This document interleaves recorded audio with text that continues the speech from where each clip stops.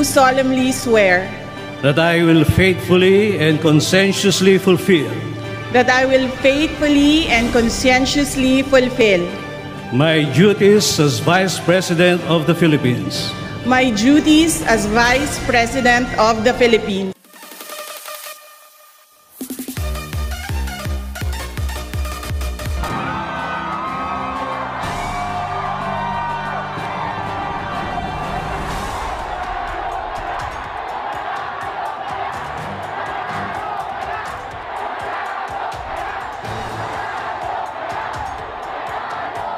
Honorable Sara Zimmerman Duterte, the duly elected Vice President of the Republic of the Philippines. May we request the duly elected Vice President Sara Zimmerman Duterte Carpio to proceed to the rostrum.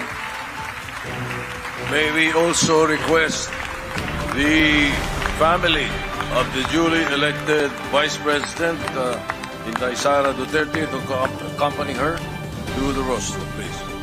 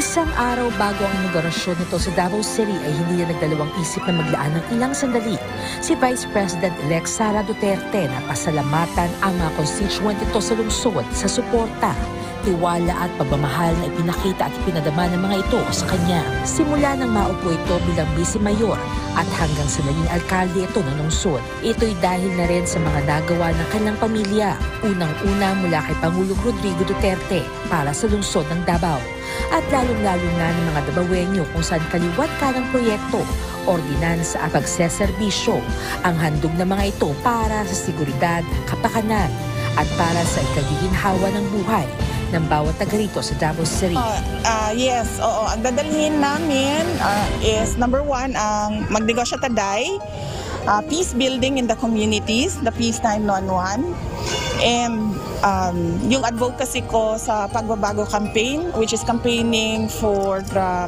the emphasis on education sa kabataan and responsible parenthood uh, sa ating mga mga magulang.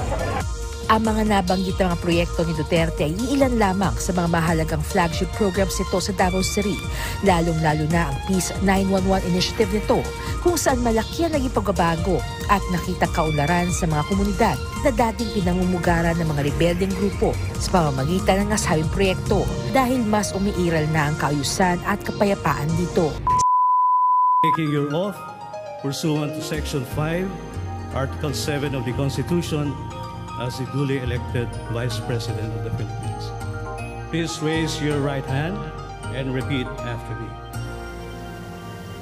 I, I, Sara Zimmerman Duterte, do solemnly swear do solemnly swear that I will faithfully and conscientiously fulfill that I will faithfully and conscientiously fulfill my duties as Vice President of the Philippines, my duties as Vice President of the Philippines, preserve and defend its Constitution, preserve and defend its Constitution, execute its laws, execute its laws, do justice to every man, do justice to every man, and consecrate myself and consecrate myself to the service of the nation.